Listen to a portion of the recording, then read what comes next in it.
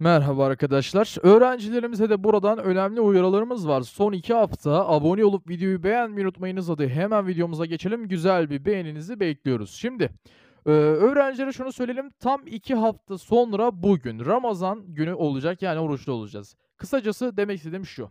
2 hafta sonra Ramazan başlıyor. E, gerek derslerinize bu 2 hafta daha yoğunluk verin. Şimdi aslında asıl şeye de geçeceğiz. Şimdi 2 hafta sonra Ramazan başlıyor. Sonra 1 aylık bir süreç var Ramazan süreci. Ondan sonra da 1 haftalık bir tatilimiz var. Ne tatili? Ara tatil. Yani ne kadar kaldı ara tatile? 1,5 ay.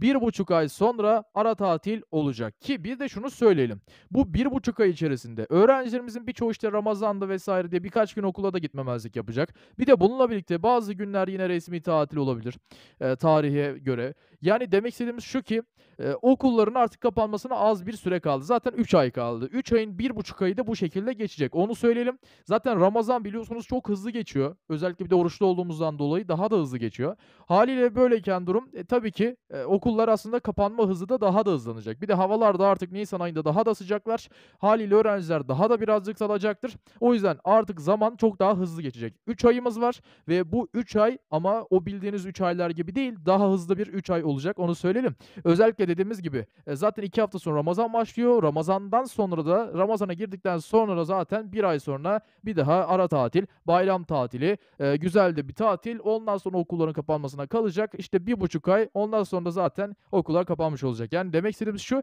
zaman artık bu süreçten sonra daha hızlı geçecek. O yüzden öğrencilerimize şunu söyleyelim. Ders çalışmak isteyenler ciddi bir şekilde çalışsın. Dinlenmek isteyenler de dinlensin. Videomuzun sonuna geldik. Abone olup videoyu beğenmeyi unutmayınız. Kendinize iyi bakın. Sağlıcakla kalın.